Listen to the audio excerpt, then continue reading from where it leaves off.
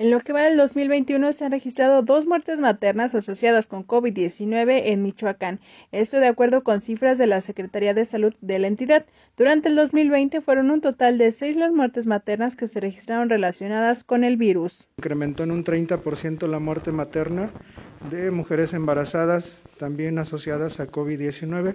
Por eso he hecho mucho eh, énfasis en que las mujeres acudan a atención médica lo más pronto posible ante cualquier dato respiratorio. De acuerdo con las cifras de la Secretaría de Salud Federal, durante el año pasado el virus COVID-19 se convirtió en la principal causa de muertes maternas en el país. En total se contabilizaron 934 decesos, de los cuales 202 fueron por la contracción del virus y 49 más se clasificaron como posibles contagios de COVID.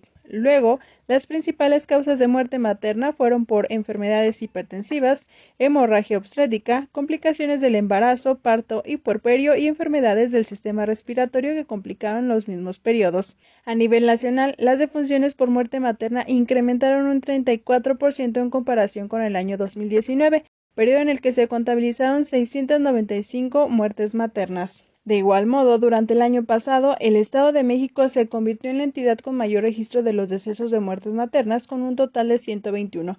Le sigue Chiapas con 65, luego Puebla con 51, Chihuahua y Ciudad de México con 45 cada uno, así como Jalisco con 49, Guerrero 47 y Michoacán con 39. Los datos apuntan que Michoacán se colocó como la entidad número 8 por casos de muertes maternas a nivel nacional al registrar 39 defunciones durante el 2020, siendo las principales causas hemorragias y enfermedades hipertensivas del embarazo, como preeclampsia y eclampsia. Los decesos además presentaron un incremento en comparación con el 2019, año en el que se contabilizaron 34, lo que representa un aumento del 14% durante el 2020. Informó para Mega Noticias Blanca Padilla.